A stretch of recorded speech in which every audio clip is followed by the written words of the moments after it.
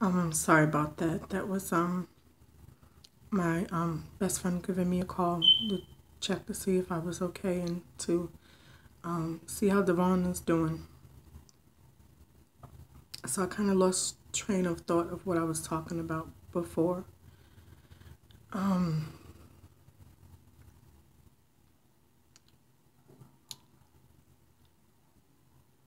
so I'm trying to remember what I was talking about. I can't really remember where I left off at. But um so Devon um is going to be transferred from the psych ward that he's at now to another psych ward um that's not that far from my home. Um that facility is for like non-violent um, patients um, that can ha- kind of have like a little bit more freedom um, while they're there. I mean, he's admitted there, um, but he'll have a little bit more freedom as far as like you know he'll be able to go sit in a you know rec room or um, TV room without um, having any restrictions as far as that concerned. And um, it'll be easier for me to get to him every day because he'll be uh, not that far away from home. Um, I don't know if I said this or not, but I, am just I'm just uh, trying to remember what I was talking about before. But um, so he's going to be there for six days while they evaluate him and try to put him on the right type of medication. Um, and then from there, they will decide whether he's coming home or he's going to be there for a little bit longer. Um, I spoke to his um, she's still his counselor, but he doesn't take counseling um, with her until it's supposed to start next month again. Um, I don't know if I said this before with the budget cuts. The program that he was going to um, no longer exists, and we try to get him like placed at another place. So she has um, a facility on the other side of the island that she will be doing counseling with him um, and uh, to put him in the program that she's in because it's a smaller base program where he could be um, more supervised and that because she'll be there she can counsel him um, more than what he was getting counseling before.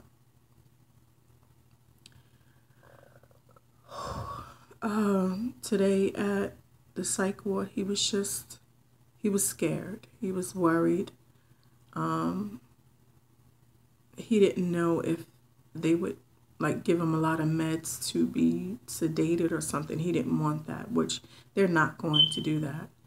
Um, he was just scared. Um, he was not in his comfort zone. His safety home, and you know, is being home. So this is the first time Devon has ever been in the hospital at all. Um, being admitted or anything like that. He has not been away from home like that. Um, he would go to his cousin's house, my twin sister's house in the Bronx, but he's with his cousin, so he still felt comfortable or at home. Um, when I left today, uh, he they had just gave him his medicine and he was he was gonna go to sleep. So hopefully the medicine will help him sleep well tonight. The voices won't be bothering him. He won't have anxiety or paranoia. Um,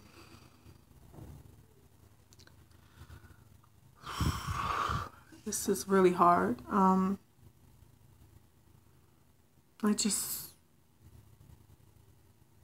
as a parent, we protect our children. You know, we're there for them. And this just seems like mental illness that I, you know mental illness you know it's nothing that I can do to help him as far as curing him. Um I'm just happy that I I, I continuously give him the help that he needs you know so he can get his services. And um when I spoke to his counselor today she was like yeah take him in. Let him get checked out. Let him get evaluated. Let them put him on some meds Um, I just feel like I'm rambling. I'm sorry.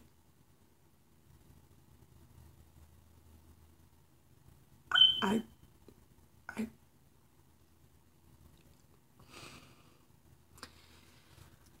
I don't, I just feel helpless right about now. I just pray that um, he would have some sense of normal normalcy um, um, I was telling his counselor, like, I didn't want to abruptly change anything for him. I want things to stay as normal as possible. So I will still allow him to go to his uh, day program, um, the very special place where he's going at. Um, next week, I'm going to visit her um, place where she works at to check that out. Um, and to possibly switch him there.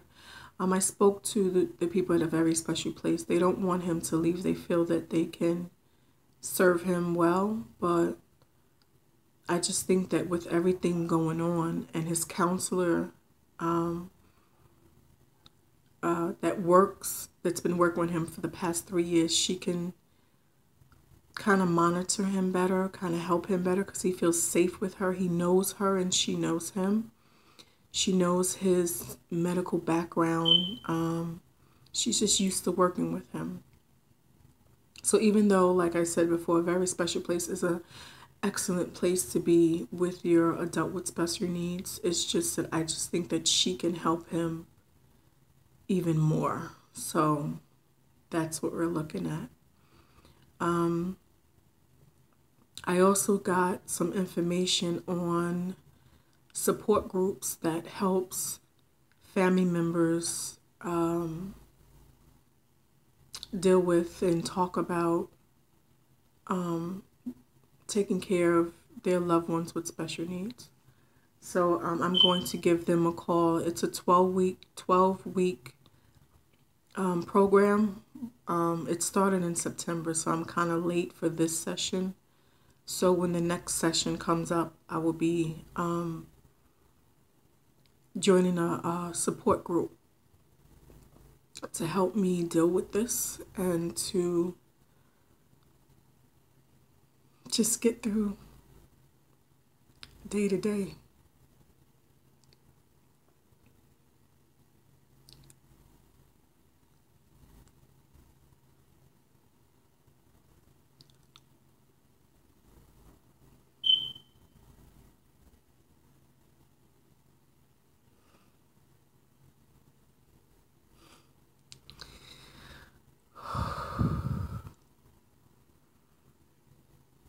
Taken care of my son for the past 21 years.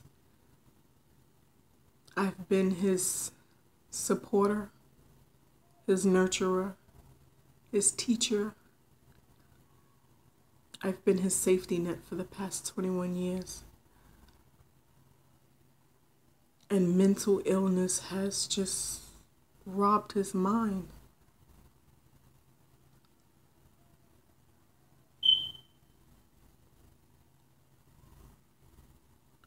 And um, there's nothing I can do to make everything okay for him.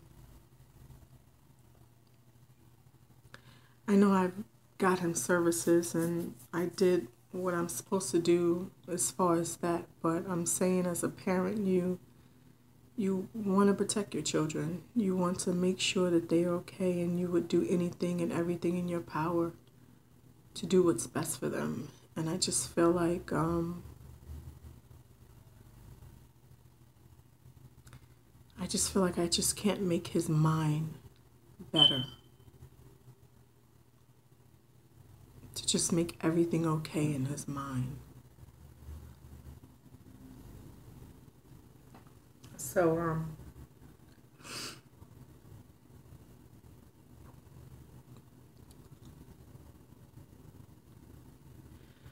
so tomorrow, um, I'm gonna visit him, visiting hours for an hour. So I'm going to get up early in the morning and go get him some things, some clothes and stuff for him to be comfortable because there's certain things that you're not allowed to bring into the facility. So I want to, you know, get him some sweatsuits and stuff so he can be comfortable so he doesn't have to wear the hospital gown all day. Um, and to get him his pull-ups. He uses um, adult pull-ups because of his medical condition where he uses the bathroom on himself sometimes. Um, I want to get him some socks and, you know, toothbrush, you know, things to make him feel comfortable. Um,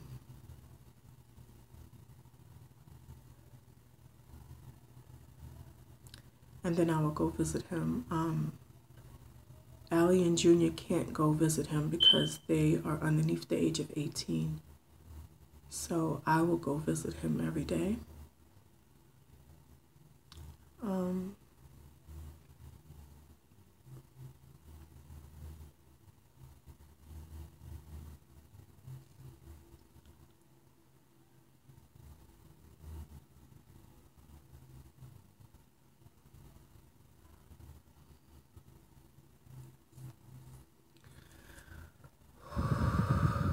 um, to say after this. Um, I think that um, I'm just not going to come on here for a while. Um, I just need to make sure that Devon is okay. I need to make sure that I'm okay. I need to just step back and breathe.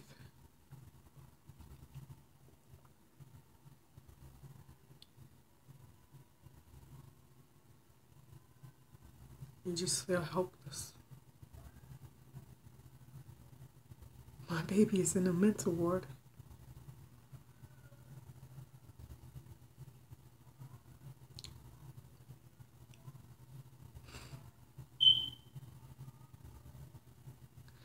So his counselor said that um she'll meet me there. She wants to visit him and talk to him. Um so that's a good thing. He won't feel like he's alone.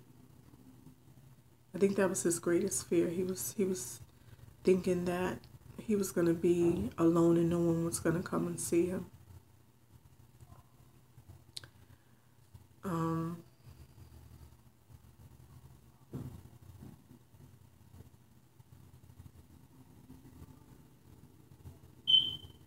Everything has changed for him so dr- drastically this year.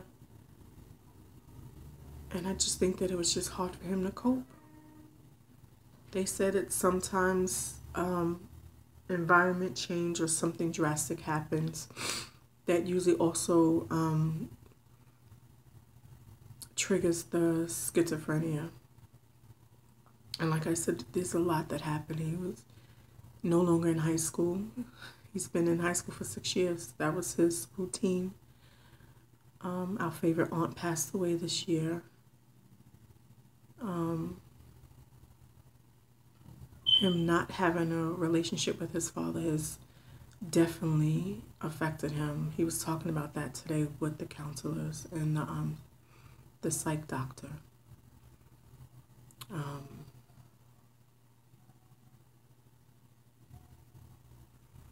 we moved from a private home back into the projects. So that was a shock to him. You know, the saddest thing was when he was going through his breakdown outside, no one, no one came to see if he was okay. No one checked on him. No one asked him, was he okay?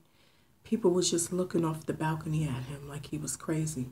Somebody even pulled out a cell phone to record it. Can you? We've just come so desensitized as a nation. To where instead of going to, up to someone to say, Are you okay? Do you need some assistance? Do you need prayer? Do you need me to do anything? Do you need me to call anybody? They pull out their cell phone to record.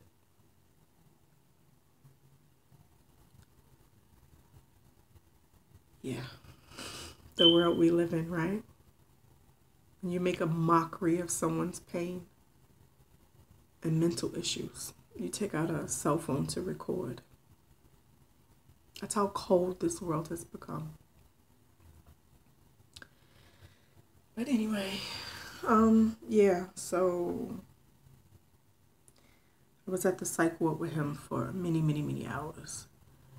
Um, and when I left, he was still there. They was waiting for the ambulance to come and pick him up to transfer him.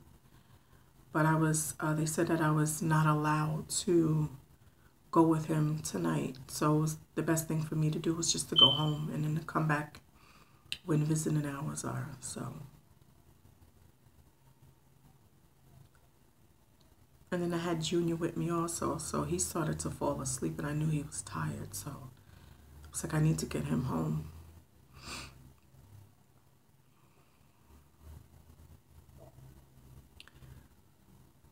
What I'm asking people to do is not to be so desensitized.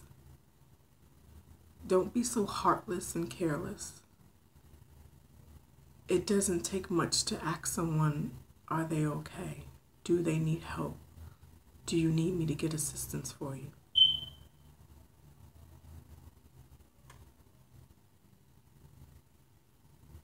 Mental illness is a daily hell. And not enough people talk about it. There's not a lot of education and knowledge about it that people know. And that's what I pray that my videos do is to give you education and knowledge to somehow make it real in human form like not to desensitize yourself because mental illness is real it's a daily lifelong battle that you have to somehow function in this world. Normally, somewhat normal, if what the hell is normal, but normal.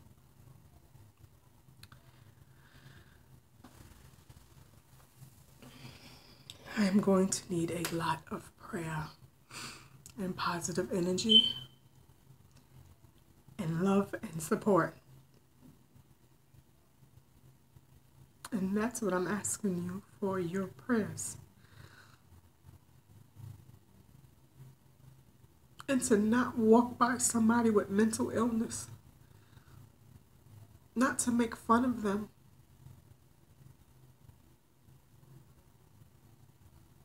But to show some sort of human compassion. Because no one with mental illness needs to be mocked made fun of.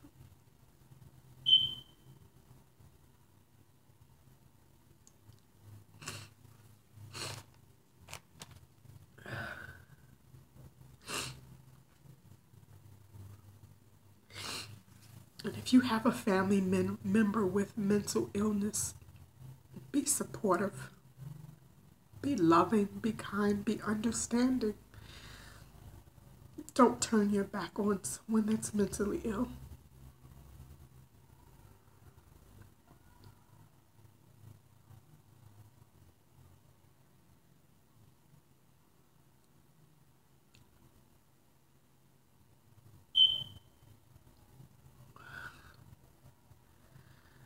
Well, that's all I came in here to say. I hope I made some sort of sense. My mind is just racing. my heart is breaking.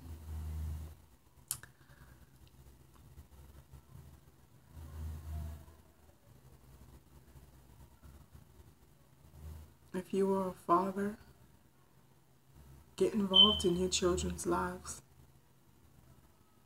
Stop having excuses.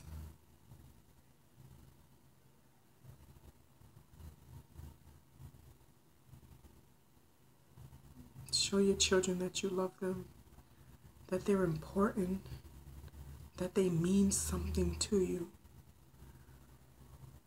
Get involved, not just with a phone call every once in a while. Not some shallow shit. Get involved.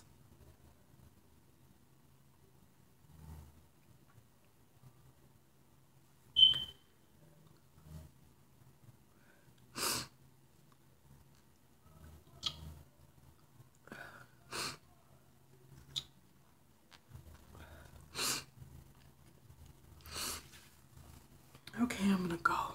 It's it's really late in the morning. It's past twelve o'clock, and I have a lot to do tomorrow. I have a lot of things to do.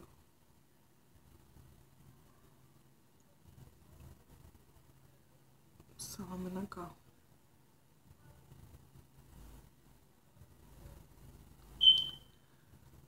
Just pray for us, please.